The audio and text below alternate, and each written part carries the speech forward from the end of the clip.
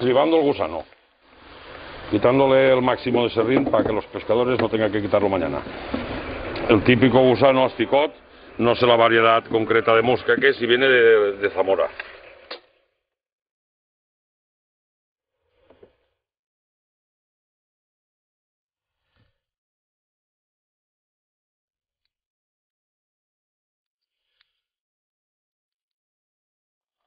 Este es para el cebado de inicio y aquel es para el de continuo, es solo tierra. Aquello solo tierra con un poco de maíz, alguna lombripicada, pero esto es un poco de engodo con tierra de, de fondo.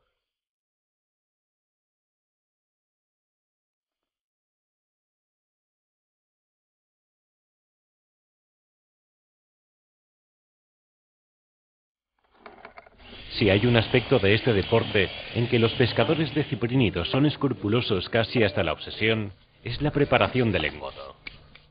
No en vano, de su composición dependerá que acudan al cebo unas u otras de las especies que habitan el río.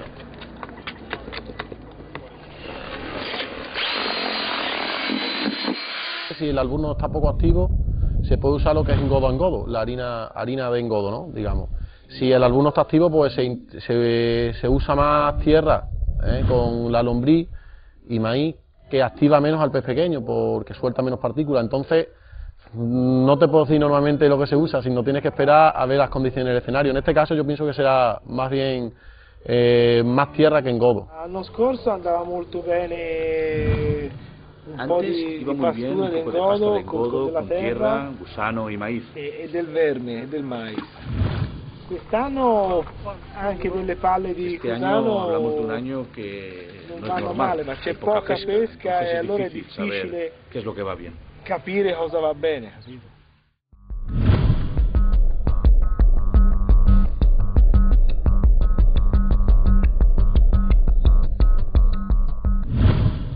siempre, en todos los deportes también influye un poco la suerte, ¿no? La suerte de coger un puesto bueno, de que la zona no, no caigas con estos grandísimos pescadores que asisten y generalmente pues eso, pues una buena estrategia y un buen sorteo es fundamental para ganarlo. Un po' di fortuna per, per il Un poco suerte para el sorteo, se tu porque eh, si sei nel está el posto sitio brutto sucio es difícil. è difficile. Eh, specialmente con questa Especialmente con corrente, esta che corriente non no puedes encontrar una trovare alternativa. un'alternativa, No non puedes puoi pescar a pescare la inglesa, con a la l'inglese o con la bolognesa. bolognese, El agua va demasiado troppo fuerte. forte l'acqua adesso.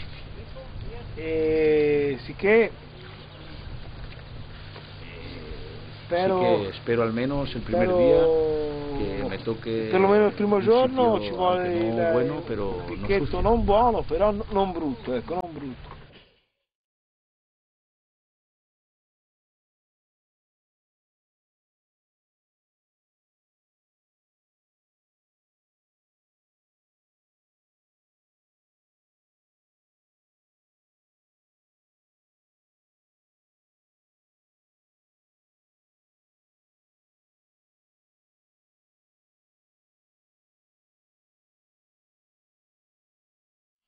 El azar es un factor decisivo, casi definitivo, durante la primera jornada de pesca, cuando la zona todavía no ha sido suficientemente cebada.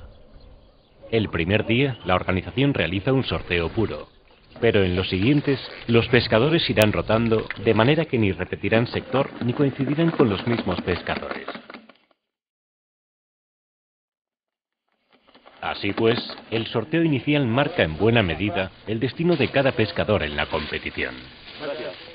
En los instantes previos al inicio de la prueba, la suerte y las sensaciones van por barrios.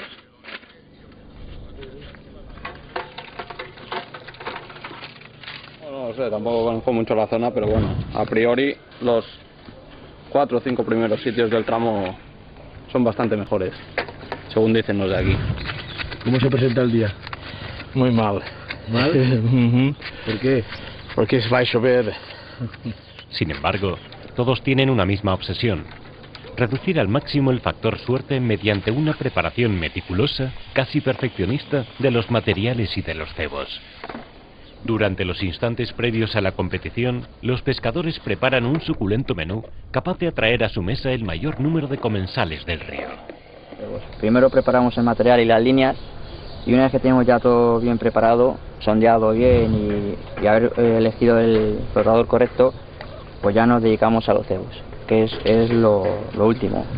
Es lo que lleva una preparación especial y hay que dejarlo para el final. Pues en este momento voy a, soy el juez de la competición y voy a tocar la bocina a cinco minutos para hacer el precebado.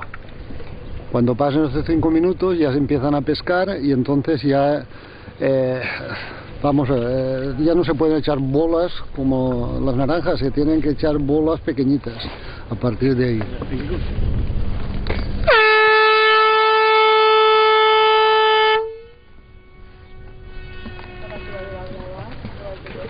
Durante los 5 minutos de precebado, los pescadores tienen tiempo de lanzar unas 14 o 15 bolas del tamaño de una naranja. Una vez iniciada la manga, solo podrán lanzar el engodo que cabe en un puño.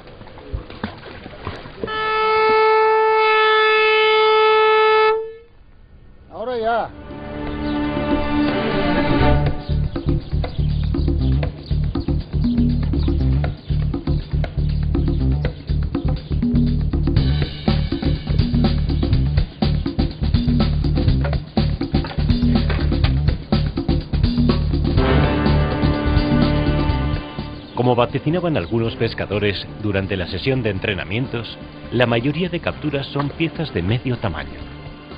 Sin embargo, también hay quien tiene la suerte, o la pericia, de clavar fantásticos ejemplares de carpa. Entre ellos, vaya casualidad, el bicampeón del mundo, Jacopo Falsini, con algún que otro apuro para cobrar la pieza.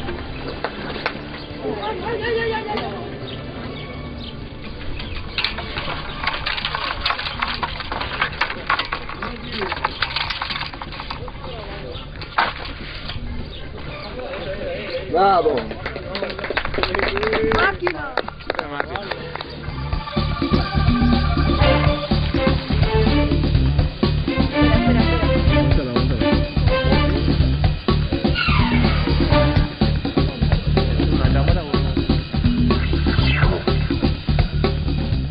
pieza mayor del Iberian Master será una carpa de 6 kilos. En el lado opuesto de la balanza, otros prefieren no arriesgar y se decantan exclusivamente por el alburno en una actividad frenética y agotadora.